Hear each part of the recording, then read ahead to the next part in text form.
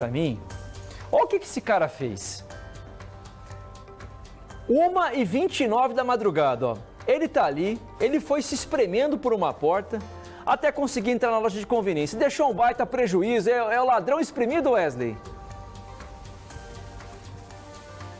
E foi em Borrasópolis. Esse homem invadiu a loja de conveniência desse posto de combustíveis e você não vai acreditar qual era o objetivo dele, viu, Parra? Ele fumou um cigarro e, inclusive, também é, levou uísque, ou seja, chama muito atenção qual foi a intenção dele neste furto. Mas também fugiu, levando cerca de 300 reais em dinheiro que estavam no caixa. As imagens realmente impressionam, né? A forma que esse homem agiu neste posto de combustíveis e logo em seguida, Parra, ele fugiu com os produtos e, além disso, também um rapaz rapaz foi abordado, né, ali nas proximidades, é por um vigilante. Esse rapaz, ele também, ele disse que não sabia do arrombamento, mas é, percebeu no momento que o suspeito foi embora. O ladrão estaria cometendo furtos em diversas conveniências ali da região.